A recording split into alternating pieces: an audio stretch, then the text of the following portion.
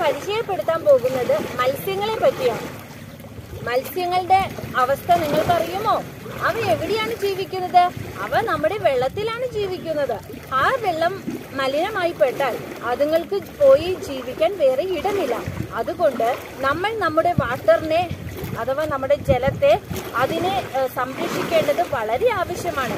അതുകൊണ്ട് നിങ്ങളുടെ പരിസ്ഥിതി നിങ്ങളുടെ ചുറ്റുപാടുമുള്ള ജലാശയങ്ങളെയും നദീതടങ്ങളെയും സംരക്ഷിക്കുകയും അതോടൊപ്പം തന്നെ നമ്മുടെ ലൈഫ് സ്റ്റൈൽ മാറി മാറുകയും വളരെ സന്തോഷം ഹാപ്പിയുമുള്ള ഒരു എൻവോൺമെന്റിന് വാർത്തെടുക്കാൻ കഴിയട്ടെ എന്ന് ആശംസിക്കുന്നു.